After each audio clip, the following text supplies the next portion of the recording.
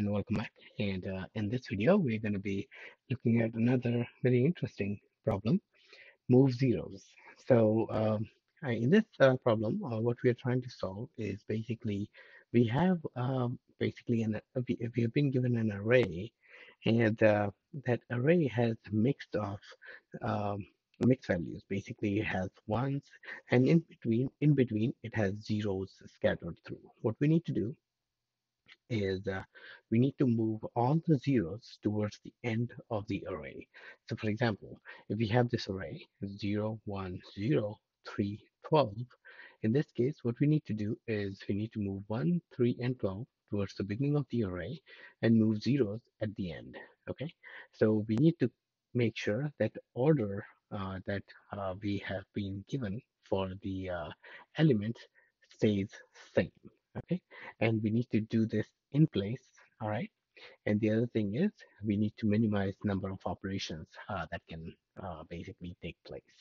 Now, um, if you think of it like, you know, you can uh, very easily uh, sort of like, you know, sort this array and reverse it. But uh, sorting, uh, remember, sorting might not be an option if that comes to our mind because we need to keep the order uh, the rel relative order of the elements. So if, uh, and nowhere in the question it says that uh, the uh, array is sorted. If array was sorted, zeros would, would not be uh, scattered all over the place. So that's not the option okay and uh, what we can do is uh, if you think of like previous questions um, see if you can um, find some um, uh, some inspiration from those examples. Maybe keeping a pointer and uh, comparing some values, like you know, um, some values to zeros and stuff like that. Okay, just uh, just a hint. Um, this is like you know, a rather uh, interesting question. So I would actually uh, uh, like you know encourage you to take a first stab at it, and I'll uh, take a pause here. So uh, pause the video and try to come up with your own uh, algorithm before continue, uh, continue before continuing forward basically, and then we're gonna see what we came up with for the solution. Okay, uh, one of the potential solution by the way. Um, so we're gonna take a pause. So uh, let's pause the video here right? So hope that went well. And uh, we can see what we actually uh, developed as like, you know, as one of the potential solution, or we came up with potential solution of our own. Okay, so the main idea behind this is that once again, like, you know, going back to some of the questions that we solved, uh, keeping a pointer. And basically, we're going to keep a pointer, uh, create a pointer, and initialize that pointer with zero and we're going to loop over the array. Okay, so if the current item uh, that we are iterating over is not equal to zero, okay, then we're going to move that item to the pointer.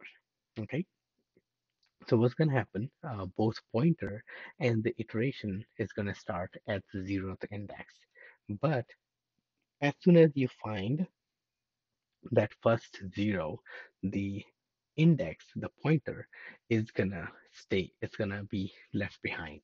Okay, and that's when you have the opportunity where uh, you're gonna start to fill those gaps of zeros with values uh, that are uh, currently being iterated over. And just like that, all the elements uh, that are zero will be replaced by something. Now at the end, you're gonna have repeated values because like, you know, values have been copied over and stuff like that. So what we do is we use that index pointer that we are actually using to iterate over the remaining of the array and convert or basically replace everything with zero. That way our um, loop only keeps the values that were there and remaining everything else becomes zero. Okay, so hope that was easy enough. Let's take a look at the algorithm first. Um, so we have we get the we get the numbers array, and we create that uh, pointer index with zero, and we then loop over. We see like you know if the currently iterating currently uh, current number that we are iterating over is not equal to zero, then we uh, take that number take that number array uh, for the index and replace it with the currently uh, uh, number that we are currently iterating over. Okay, then we increment uh, the index uh, by one. Okay, and we continue forward, uh, continue like this. Even we encounter uh, it as a zero, then we skip this step. So at that point, the index pointer is gonna be left behind and uh, not gonna update until you encounter next non-zero value. So that's when you actually start to see those uh, non-zero values being copied over on the top of uh, zero values. Okay, so uh, you can uh, take a look at the example and it's going to be more clear. But yeah, so you run to the end and then at the very end, you just iterate over remaining of the array uh, and then uh, starting from index uh, that you have updated until the end of the array and replace everything with zero. That actually gives you the answer. Okay, so let's take a look, the, look at the example. So you have 0, 1, 2, 0, 3. As you can see, 0 is scattered around. Now we're going to say uh, index. We're going to start with index at 0. We're going to loop, uh, go into the for loop. Uh, first time, the 0 is equal to 0. That means the index is also index is 0 and current item uh, is also 0. So we skip. Okay. Index is now left behind because index is still 0.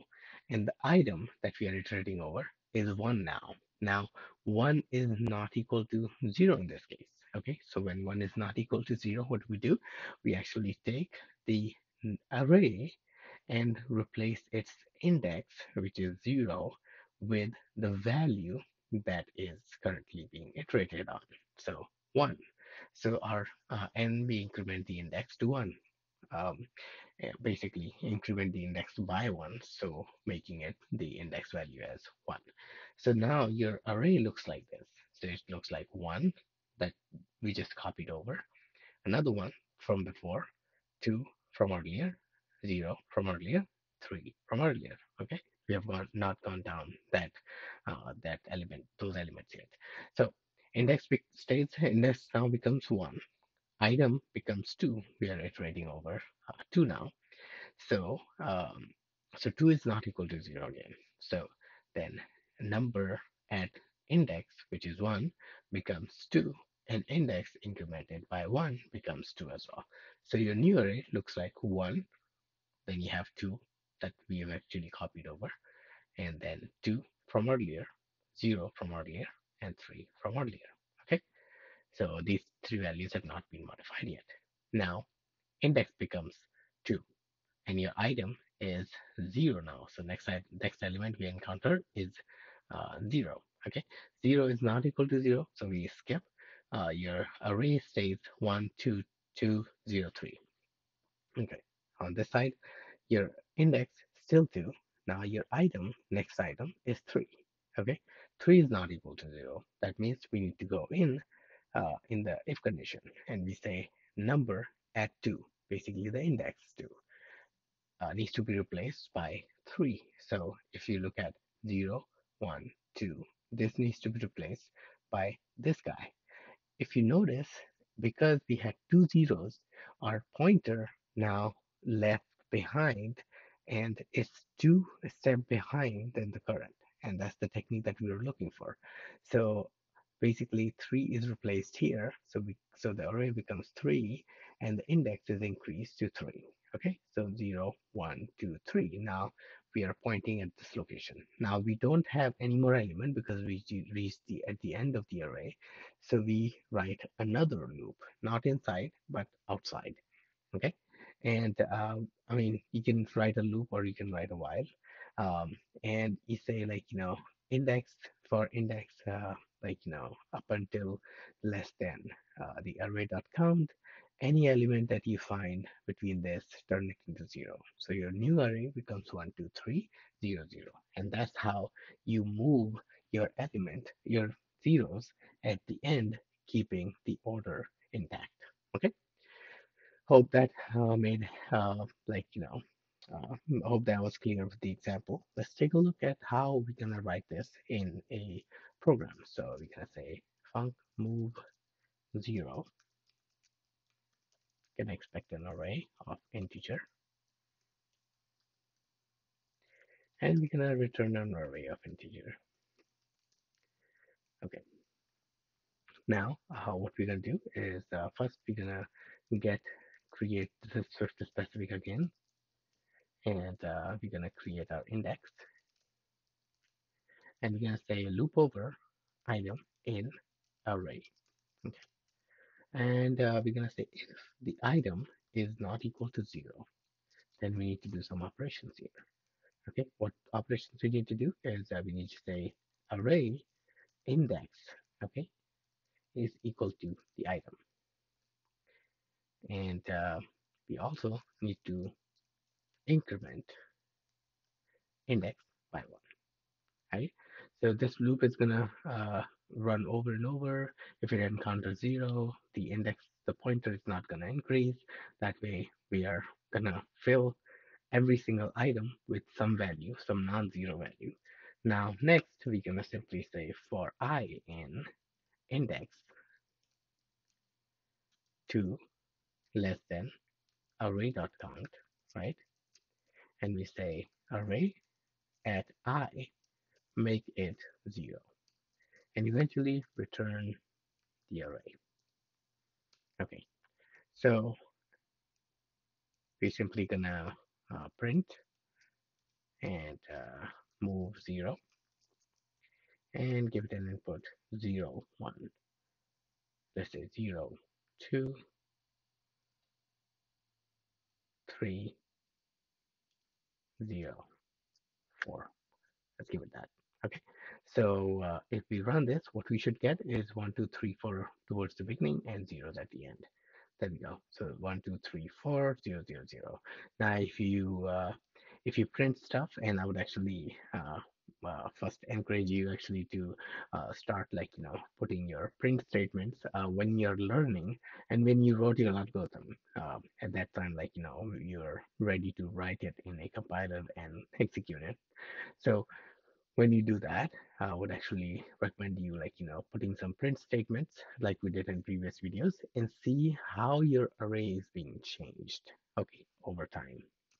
Now, you can do that uh, right here, but I would say like, you know, that's best way to see like, you know, at what step what's being changed. So if you remember, if you notice, this we have one, one, zero. So basically, uh, there uh, one uh, 0 was replaced by 1 and this is from before and this is from before and everything else is from before then we get to 1 2 next one and uh, so because we are actually writing we are printing only the array only when uh, we are actually replacing item that's why you're seeing this. Now you're gonna see more. So 0 1 1 1 1 0 0 like so.